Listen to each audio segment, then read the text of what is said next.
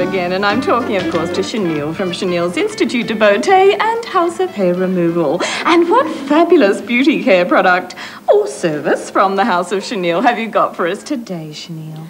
Acupuncture, Janelle. Acupuncture. That's right, Janelle. As part of our ongoing expansion, we've moved into the area of dietary control through acupuncture. so you are a trained acupuncturist. Yes, self-taught. And how, how do you acupuncture for dietary control? Well, for example, I stuck numerous pins into the soles of my assistant Myling's feet, and uh, for example, she lost 40 kilograms in just two days. So the soles of the feet control the taste centres. No, they just stopped Myling from walking to the fridge.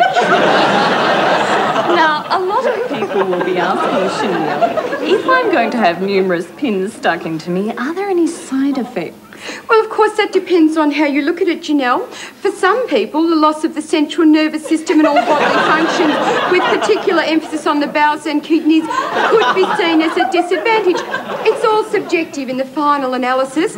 All I know is that under our strictly supervised prick regime, the pounds literally fall off. And your acupuncture is not only cosmetic, but also cures disorders. Oh, my word, that's quite right, Janelle. We can actually cure nerve deafness, blindness, and I'm working on a cure for impotency. yes, but the positioning of the needle is very critical on that one note. Sounds great. Yes, and don't forget our new home acupuncture kit with two-page instruction brochure and 12 assorted needles, including a crochet hook. Use them to lose weight or cure deafness in the morning or as a satay skewer of an evening.